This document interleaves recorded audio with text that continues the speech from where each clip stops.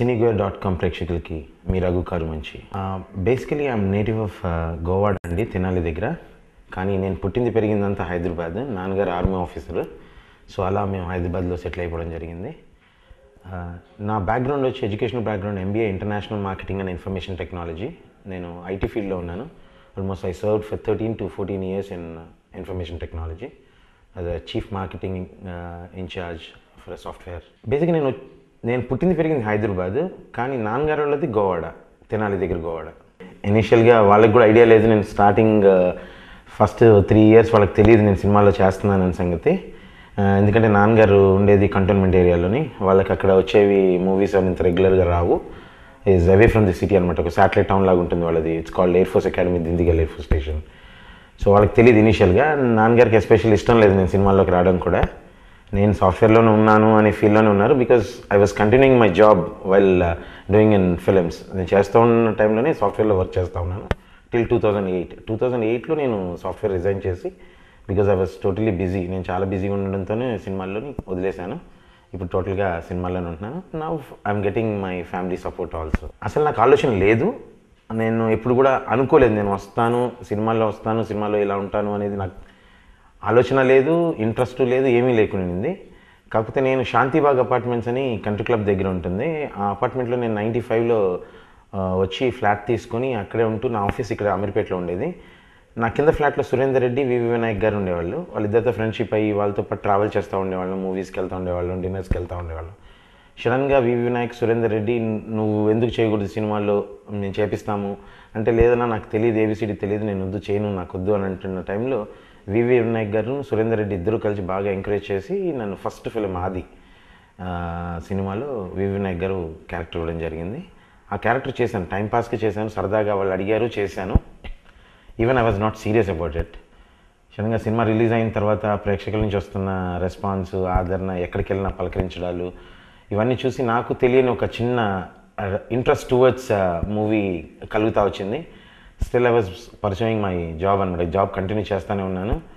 ఇంకా సురేందర్ రెడ్డి రోజు లేదు నీ- నీకు చేయొచ్చు వెరైటీగా చేస్తున్నావు నువ్వు బాగుంది నీకు మంచి లైఫ్ వస్తుంది వైంట్ యూ ట్రై అని చెప్పి Surender Reddy was encouraging me all time అనమాట సేమ్ టైం వి వినాయక్ గారు is one person real in my life అలా ప్రయత్నించాను ప్రయత్నించలేదు అని చెప్పడం డిప్లొమాటిక్గా నేను చేయలేదు చేశాను అనే దానికన్నా ఫ్రాంక్లీ స్పీకింగ్ నాకు ఆది రిలీజ్ అయిన తర్వాత నుంచి I was keep getting calls from the production houses వాళ్ళు ఎంకరేజ్ చేస్తూ ఉన్నారు. వన్ బై వన్ వస్తూ ఉన్నాయి. నేను జాబ్ చేసుకుంటూ ఈ పక్క కాన్సన్ట్రేట్ చేస్తూ వస్తూ ఉన్నాను.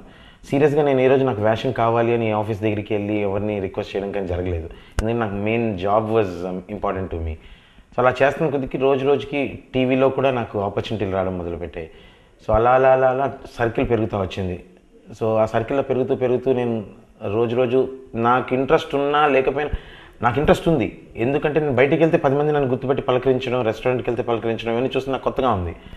ఇన్నోవేటివ్గా ఉంది క్రియేటివ్గా ఉంది. Everyday I have a new challenge compare to my job so two thousand eight వరకు things were coming on my way I was doing it two thousand ఎయిట్కి నేను జాబ్ రిజైన్ చేసి I started searching for it నా సర్చ్లో కూడా నాకు అడ్డంకులు ఏం రాలేదు. మంచిగా జరిగింది ఎంకరేజ్మెంట్ వచ్చింది. చాలామంది డైరెక్టర్స్ నన్ను ఎంకరేజ్ చేశారు. ఒకసారి వర్క్ చేసిన ప్రతి డైరెక్టర్ తిరిగి మళ్ళీ రఘుని పిలిపియండి అనే స్టేజ్లో ఈరోజు ఉన్నాను. I'm very happy for that definitely it was a risk I was paid very high amount of money in my job ఆ రేంజ్ ఆఫ్ మంత్లీ ఫిక్స్డ్గా ఇంత వస్తుంది నెలకి అని తెలిసినప్పుడు డెఫినెట్లీ ఆ కంఫర్ట్స్ ఆ రిలాక్సేషన్ వేరుగా ఉంటుంది. వేరే or industry like you know every day you have to work for money money కోసం వర్క్ చేయాల్సింది ఉంటుంది. వర్క్ కోసం ఎతకాల్సింది ఉంటుంది. ఈ స్టేజ్లో ఫ్రాంక్లీ స్పీకింగ్ స్ట్రగుల్ అయ్యాను అనే దానికన్నా స్ట్రగుల్ అనేది ఎక్కడైనా ఉంటుంది. ఈవెన్ కార్పొరేట్ సెక్టర్లో ఉంటుంది ఐటీ సెక్టర్లో ఉంటుంది even movie industries as good as the corporate for me it's reflection of society it's a mirror reflection of a society what I feel that's my abbreviation and it's a great media to educate people in a right way and a right direction and I'm I part of at I'm proud. Definitely, I, I want to be best. Raghu is the best comedian అనేది ఒక stamp తీసుకోవాలండి. That's my goal every day every morning I get up I'm the best అనుకుంటాను వెళ్తూ ఉంటాను.